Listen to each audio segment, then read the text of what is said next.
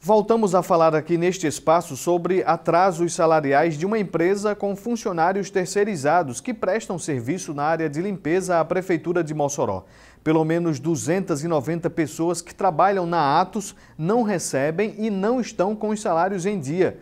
Essa empresa possui contratos e atua nas secretarias de Educação, Saúde e Administração. Os atrasos são referentes a estas duas últimas. Para você ter uma ideia, existem cobranças tanto dos trabalhadores quanto do sindicato Sindilimp. E o Poder Legislativo entrou também com cobranças. Na Câmara Municipal, o vereador de oposição, Alex do Frango, conseguiu aprovar requerimento que convida representantes da empresa a dar explicações sobre esses atrasos. E a gente fala mais sobre este assunto. Desde julho, os funcionários da Atos estão com os salários atrasados são pais e mães de família que não têm o que comer e sobrevivem com o mínimo.